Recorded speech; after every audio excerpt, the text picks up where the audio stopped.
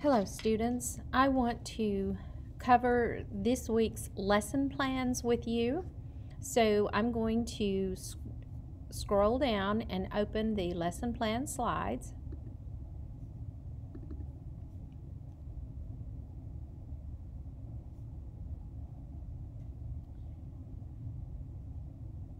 And as that is loading, okay. So this whole unit uh, is over morality, behavior, and justice. We are now in quarter three, week four. Uh, we began this unit last week. And as we are reading the novel To Kill a Mockingbird, we are going to be evaluating some of the characters and we're going to kind of judge them based on what is said about them, what they say themselves, and the actions that they do. By the end of the novel, we, uh, as we are evaluating these characters, we're going to decide were they guilty of what people said or are they not guilty? So we'll decide. We'll also decide is the character the same from the beginning to the middle, all the way to the end, or have we seen a change? So this unit is based on morality, behavior, and justice. There are two essential questions that we're going to focus on in quarter three. The two essential questions are What is the relationship between morality, behavior, and justice? And then question number two is How does one know when justice has been achieved? So, as you're reading To Kill a Mockingbird and doing the various assignments with this novel, along with the additional reading pieces that we'll do occasionally, think in terms of what is the relationship between morality, behavior, and justice. And then, how does a person know when justice has actually been achieved? Each week, we have two sets of vocab words because our reading assignments have been divided into two sets. We did this last week, and we will do this throughout the duration of this nine weeks. The first word that uh, comes, or the first set of words comes from chapters 8 through 9. The first word is entrusted. It is a verb and it means given over to another for care or protection. So if something is entrusted to someone else, if I entrust you with something, that means I give you something that I expect you and I trust you to take care of and protect it. Adjacent is an adjective meaning next to. Miss Maudie's house is adjacent to the Finch's house. It means it is next to the Finch's house. Perplexity is a noun, and this has to do with the condition of being puzzled. Um, she was in complete perplexity with what we said. She was completely puzzled by what we said or did. Ingenuous is an adjective and it means without sophistication, artless, or innocent.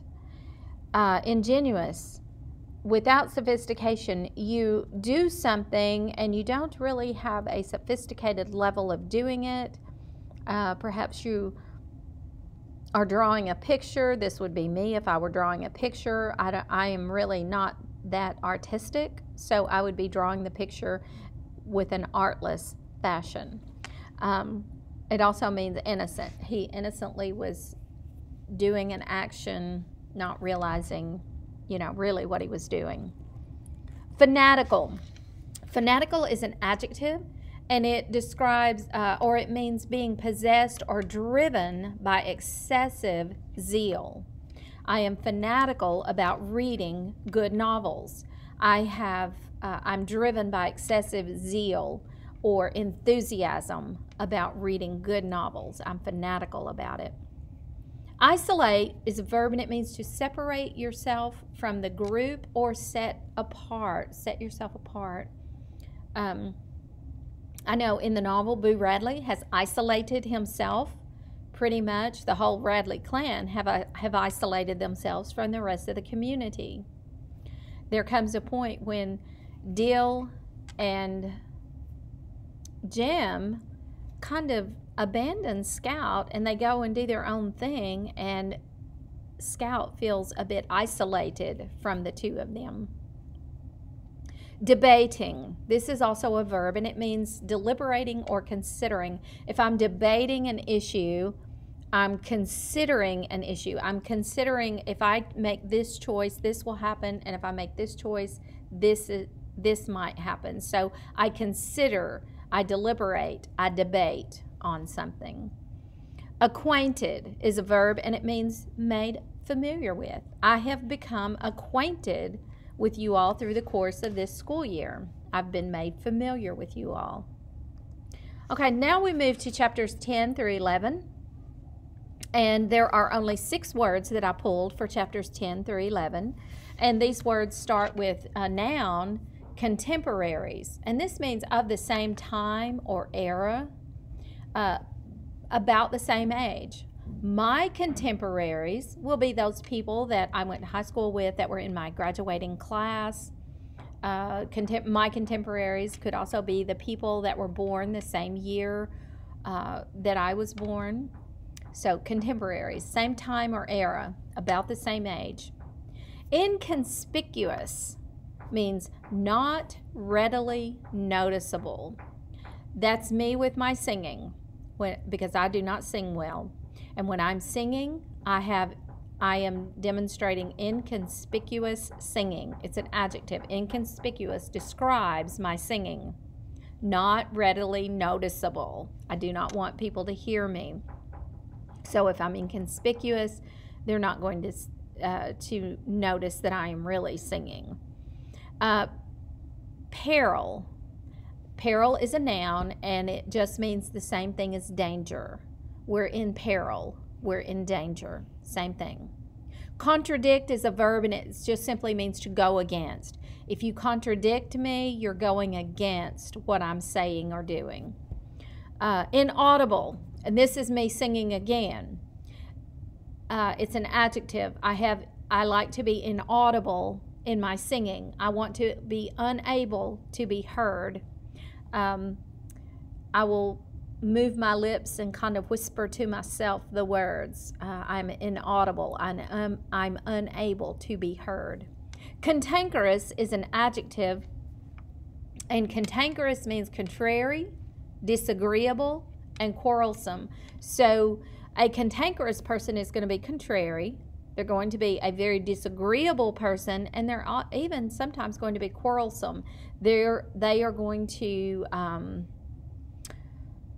want to make waves. They're going to want to argue with you and disagree with you. Okay? So, the things that I want to main, make sure that I point out is please pay attention. I've posted this is the overall agenda that applies generally to all classes and all students. But if you want the specifics, you'll need to go into your classroom, open your agenda in your Google Classroom, and see what is posted day by day for your specific class. Okay, we are going to do um, another reading assessment. We haven't done one of those in a few weeks. We're going to do a reading assessment and we are going to do um, a character log and I'll, I'll I am going to make another lecture video and I will post it under character log explaining how to do the character log. Okay, continue your reading uh, we are going to have uh, all the way through the end of chapter 11 read by the end of this week by Sunday evening. Okay, have a great day and let me know if you have any questions.